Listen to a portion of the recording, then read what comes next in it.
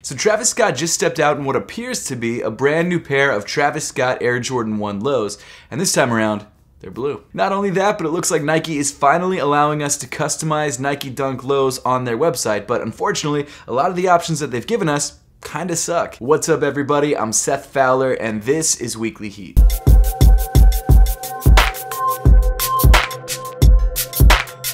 Thanks so much for tuning in today. Make sure to hit that subscribe button and notification bell down below if you haven't yet, and also make sure to give me a follow on Instagram and on Twitter at Real Seth Fowler. But even though most of us were off for Christmas and New Year's, that doesn't mean that the sneaker news stopped. In fact, there was a lot of really crazy news stories coming out around the beginning of the year. And in today's video, I'm gonna fill you in on all of them. So starting things off with one of my favorite brands, it looks like New Balance is updating the 574 silhouette with the brand new 5740. Undeniably, last year was a huge year for for New Balance, and it looks like they're trying to compound on that success with the brand new silhouette. Although the silhouette's DNA is heavily rooted in the 574, this updated version of the sneaker comes with a very cool, colorful look. According to Sneaker News, the shoe should be dropping on January 9th for a retail price of 120 bucks in two different colorways, white and black. For me, this shoe is a must cop, and New Balance, if you're watching this, I wouldn't mind if you guys sent me a pair, that'd be pretty cool. In all seriousness though, I think it's an incredible sneaker. I'm really glad that they're updating the 574 silhouette, and I think this initial launch colorway is really, really clean. I think if I had to pick one of these colorways to pick up, I would probably go with the white colorway because I feel like the upper is just a little bit more interesting because you have more color variation, but the black colorway is also really solid. Again, if you want to grab a pair of the New Balance 5740s, they drop on January 9th for a retail price of 120 bucks. So next up, we've got some good news and some bad news, and I guess I'll start with the good news first.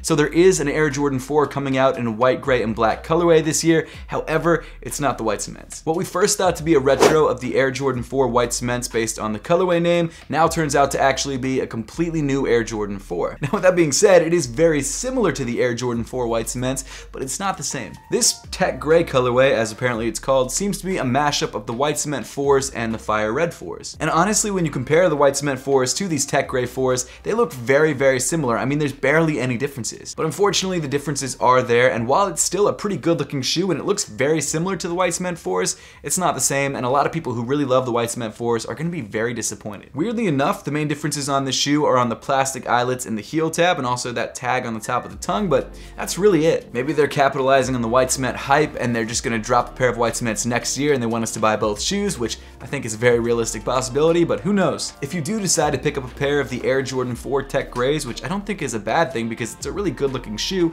you don't have too much longer to wait because they should be dropping on May 29th. Getting back to New Balance, it looks like NB is continuing their streak of excellent collaborations, this time around with SNS. Just revealed recently, it looks like SNS is collaborating with New Balance on a pair of 920s in a very cool orange and green colorway. I'm actually still really mad that I didn't catch the New Balance Salehe Bemburys. That's actually a pair that I might go back and pay resale for, to be honest. But I've gotta say that these SNS 920s are fire in their own right. In fact, this is a shoe that I'm definitely going to be trying to pick up. Based on these images, it looks like the shoe is covered in a tonal orange suede, accented by sort of a more maroon colored mesh. And then rounding off the look around the ankle, tongue, and N logo, you've got this really nice forest green color. As of right now, I'm not exactly sure what the inspiration of this shoe is, but unless this shoe is like the I Hate Seth shoe, I'm definitely gonna try and pick it up. Currently, there is no official release date for this shoe, but because we're getting official images of the sneaker, I would expect it to release in the very near future. So it looks like Nike is once again giving us a chance to customize the extremely popular Nike Dunk Low. It's been years since we've had this shoe on Nike ID, or as it's now called, Nike by You, and because of the insane popularity of the silhouette, it's no surprise that this is one of the most anticipated Nike by You sneakers ever made. Now unfortunately, as I'm sure a lot of you could have guessed,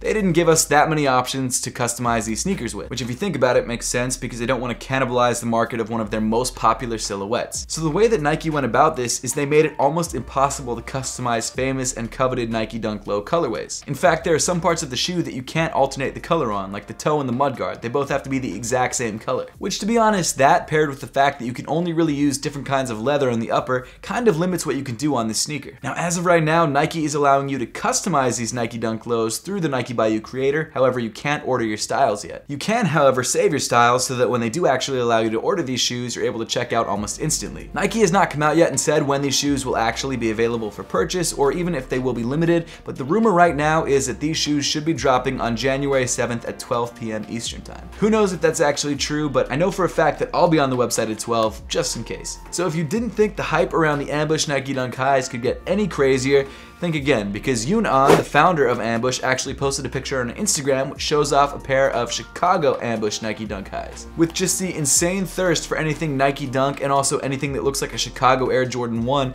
this shoe comes in at the perfect time to create one of the most hyped up collaborations of 2021. What's interesting, if you look at her actual Instagram post, the shoe isn't the focal point of the picture. In fact, it's just sort of a subtle flex or a slight leak as to what we could be seeing in the future. Now, as you would expect, the shoe comes in a red, white, and black colorway, and of course, because the shoe is a Nike Dunk High, it bears even more resemblance to the Air Jordan 1 Chicago's than the Nike Dunk Lows that dropped last year. It's so crazy to think that 2020 was last year. Obviously, because the shoe is a collaboration between Ambush and Nike, it's not a standard Nike Dunk High and features some interesting deconstructed details. The most apparent of these changes is the black Nike swoosh, which unlike a regular pair of Nike Dunk Highs, doesn't wrap around to the heel of the shoe.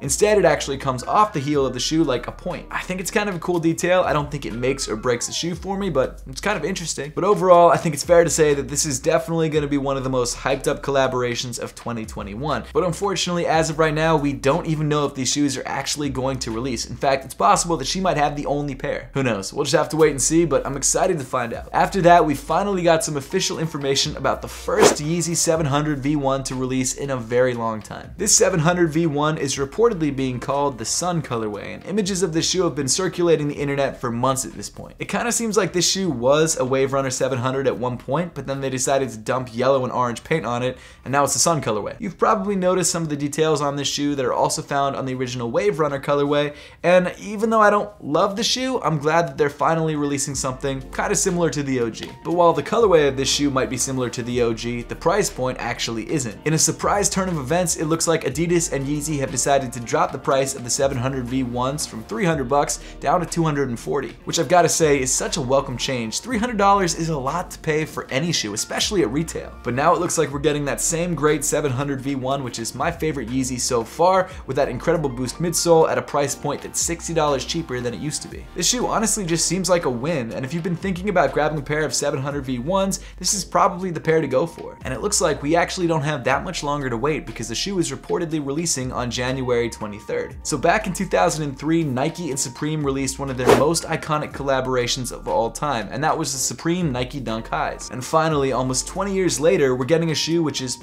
kind of similar. Releasing sometime this year, it looks like we're getting a couple different colorways of the Supreme Nike SB Dunk Lows, and official images of the Hyper Royal colorway have just dropped. This shoe comes with that iconic faux snakeskin paneling on the upper, this time in Hyper Royal, and of course you can't forget those gold stars on the midfoot. No wait, it's definitely crocodile skin. In addition to the Hyper Royal croc skin and the gold stars, you've also got a white leather upper accented by a blue Nike swoosh and a gold Supreme hit at the bottom of the laces. I'm not gonna sit here and lie to you and tell you that this isn't an out there and a gaudy sneaker, but the history behind this shoe and the fact that we're actually getting a sort of retro of the original is so cool to see. And if for some reason this Hyper Royal colorway isn't doing it for you, there's also a mean green colorway, a Baroque brown colorway, and a black colorway coming as well. Now I gotta say, this Hyper Royal colorway is by far the best in my opinion. I think this is the only colorway that I'm really gonna be going for. I'll grab the black if I can, but that blue, that's fire. But unfortunately, like most Supreme drops, it looks like we're not actually gonna know when these sneakers will drop until like a week before. So if you're trying to grab a pair of these, make sure to stay tuned to all those sneaker release websites and Twitter accounts because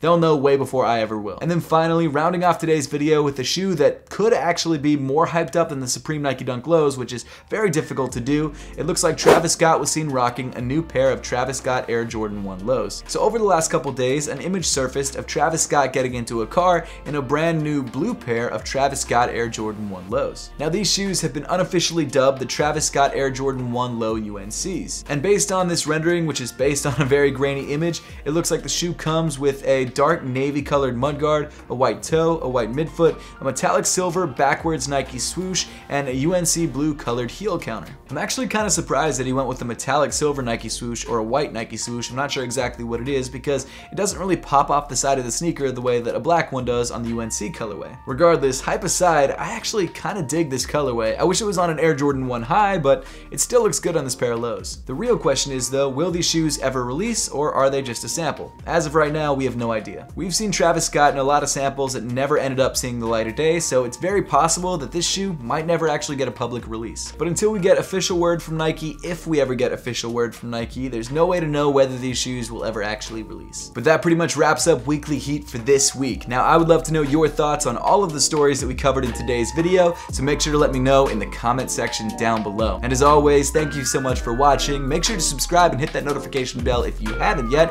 I'm running out of breath, and I'll see you all in the next one.